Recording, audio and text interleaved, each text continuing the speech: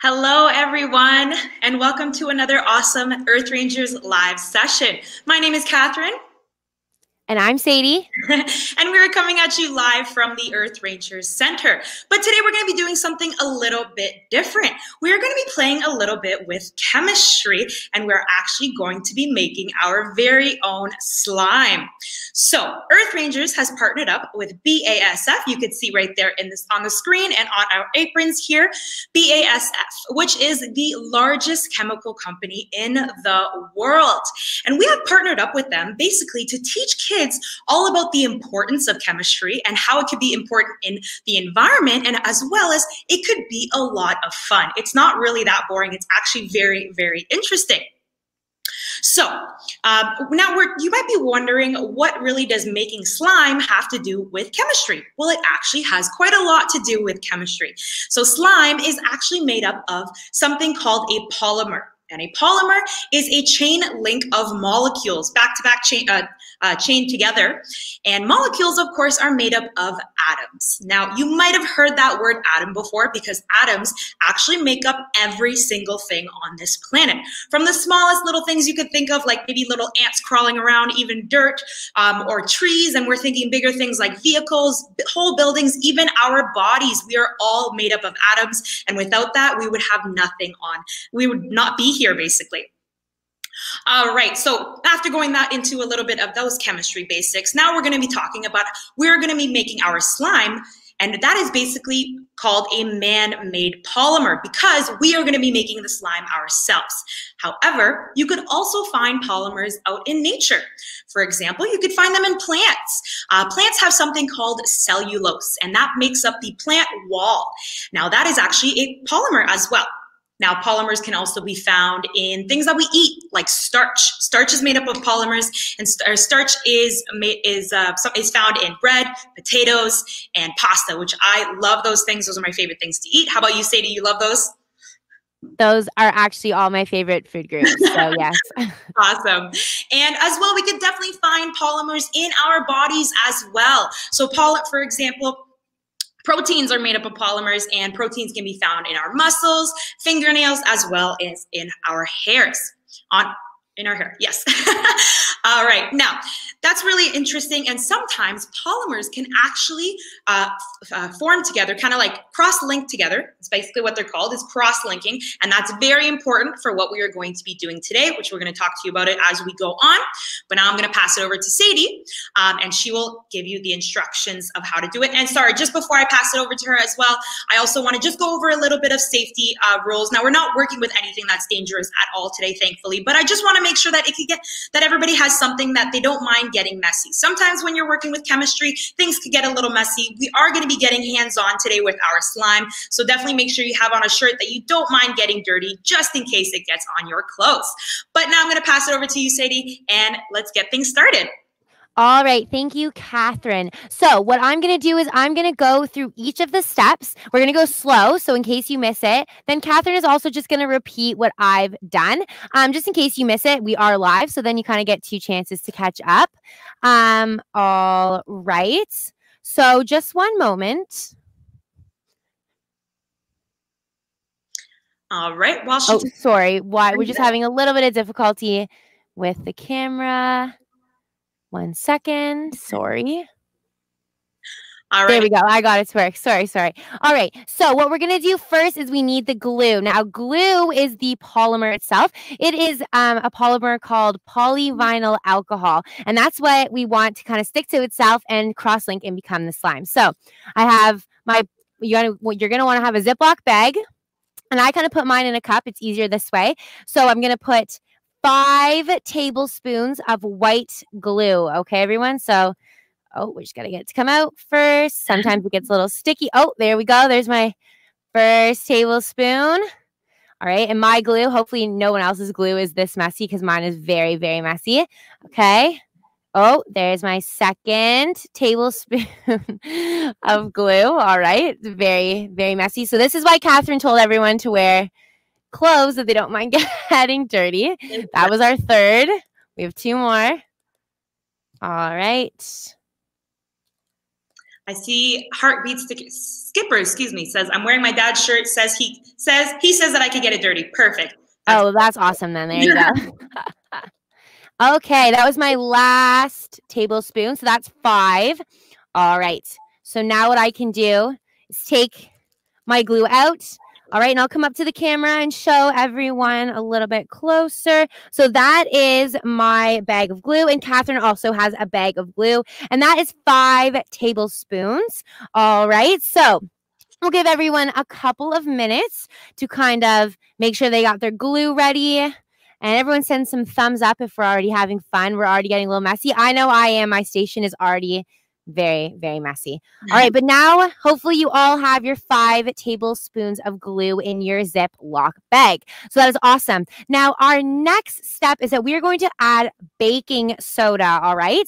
Now, we need a quarter tablespoon, but we only have a quarter teaspoon. So we're going to put three of these in. All right. But you want a quarter tablespoon. So you want to open your bag really carefully. You don't want to spill any of your glue. Okay. So I have one, two, okay, and this is my third one, three, awesome. Now, what I you can do. Measured it, so I have my little three tablespoons as well, putting that in there too. Awesome. So then after that, you want to make sure that you tight put close your bag, make sure it's super tight so you don't lose any of the glue. Now, here at BASF and Earth Rangers, we have a special way to mix glue. All right. So, what you're going to do is you're going to go like this, and you're just going to mix it like that. And you want to do it gently because you don't want to break your bag. But this way, it'll mix all around, and then hopefully you don't doesn't explode out of your bag. It feels really funny too. I like I like the feeling of it. Yeah, and it's still like so yeah, like liquidy and all right, make sure mine's tight. I almost just broke it. would not be good. Okay, so there we go, everyone. Hopefully, everyone's at this step as well. We now have our glue mixed with our baking soda. All right, so we are all ready for our next step. What you're going to do now again is you're going to open your bag up again very carefully, making sure not to lose any of this. Now, this is the best. This is the most fun part because slime is not as fun when it's just this white color, you know? So what you can do is add your own color. Now I chose pink um, as my color. So you want to do, and Catherine has blue as I can see. Mm-hmm. And you want to add only two to three drops. You don't want to add too much. So I'm going to add, I think I'll put three. Catherine, how many are you going to put in? I think I'm going to do three too. I want a nice vibrant color for my slime. Same. All right. So everyone add that in there. Now, the food coloring doesn't really do anything um, scientific to the experiment. It just makes it look really nice and cool. So it's not um, that it's just going to make your slime look a good color. So make sure you tighten the bag again when you close it. And we're going to mix it the exact same way. So like how we were doing it before. I'll come back around. Definitely comment the colors that you guys are making your slime. If you're doing it different colors than us, we'd love to know. Yes, absolutely. We're going to have a bunch of colorful slimes, I think, after this, Catherine. Make sure you get all that color in there. Yes, you don't want to have any white left when you are done mixing. You want to be all that same color because once we do the next step, then you're not going to be able to mix the color anymore. So make sure this is the color that you want. Mm-hmm. As well, there's like a cool trick we have as well. As your glue starts to rise up to the top, you can kind of push it down gently with your fingers so that it's not near the tops. When you open your bag, it doesn't come out. Now, Lisa says, can't wait to see the outcome. Me too. Haley says mine is yellow. Lisa said mine is purple. Oh, someone said theirs is blue as well. Catherine, we oh, got some blue, some fans of blue. We're doing all sorts of colors today. I love it. Okay. How is your color looking? Because mine looks mine almost perfect. good. Yeah, same. So this is mine right now. Everyone can see mine. Okay, so I think we're ready for the next step. I'm definitely ready. So let's go. So Back around our table. So this is our last step to well, not the very last step, but the last ingredient we're going to add. So open your bag up again really carefully. Don't want to lose any of that colorful glue. Now, what you're going to want to add now is contact lens solution. All right. So this, and you're going to add a mm. half tablespoon. All right, so I'm going to measure mine out pretty carefully. It's a little slow. It's going to take me a minute. Just going to. All right, there we go. Now I'm going to pour it very carefully into my bag. So everyone can do that. Kat's going to do that too. Yes. Now, the contact lens solution is really the most important part to making our slime. It is definitely what is going to cause that cross-linking and form our slime. Exactly. So I'm going to come up to the camera and show you all my slime again. So what we can do is close it up really tight like we've done all the other times and then mix it around. Now this time when you're mixing, I want all of you to pay attention because your glue is going to start to change. It's not going to feel so liquidy anymore and like glue. It's kind of going to start to harden and it's going to start becoming slime. Now, Georgina Garcia said, I'm doing the slime in a bowl. Will it still work? Yes, it will still work. Just make sure you mix it up really well. But I'm sure, yeah, it'll work in a bowl as well. Um, Allison Beth said ours are green, multicolor, blue, and purple. So that sounds awesome. I wish mine was tie dye. Maybe that's what I'll do my next slime. I know, right? So as we are mixing, you're going to start to notice, yeah, it's going to get a little thicker. So that means your slime is starting to form. Now, this is the dirty part, but this is also the best part. This is the part where we get a little messy. Mm-hmm. So I'm going to open up my bag. All right. And I'm going to stick, I'm going to turn it inside out. This is the easiest way. Does everyone see how gross my slime looks right now? Can you guys see that? So it looks gross now and it's going to feel gross. But what you can do is you can take now you want to start to grab your slime. It's going to feel gross, I promise, but the more you touch it and play with it, the more it's going to start turning into your slime. So everyone start playing around with it. Mine feels definitely gross. I'm trying to get it all off. Mine's really messy. Very Comment if yours is as messy as ours is right now. Mine is definitely Oh, mine's dripping onto yep, the floor. Okay. As long as you keep playing with though, playing with it though, it will start to harden more and more, and the liquidness will start to stop. As you could tell, it kind of started stopped already. Just keep playing with it. and yeah, you can also like, as it'll get off your hands too. You can just kind of like look at now. Mine, yeah, it's taking all the slime from off my hands. Perfect. Okay, I'm gonna. Oh, I'm losing slime. Mine's definitely messier this time. There we go. All right, and you can also take it off your bag. So Georgina says mine is very messy. That is oh okay. I hope you have a placemat down or some paper towels around, but that's okay. Slime is supposed to be a little bit messy. That's awesome. And if you're using a bag like us, you can kind of take your slime and get all the slime that's left on your bag. So then your bag can be pretty clean after. Mm -hmm. Okay. Awesome. So now this is literally as you're playing with it, this is the cross linking happening. So now the polymer, which is the glue, is starting to stick to itself and make those links. And that's when it's going to become slime. That's why it's becoming this more solid, not really even solid. Slime is kind of its own thing, but yeah. So now it's going to, it's going to become slime mm -hmm. as we're playing with it.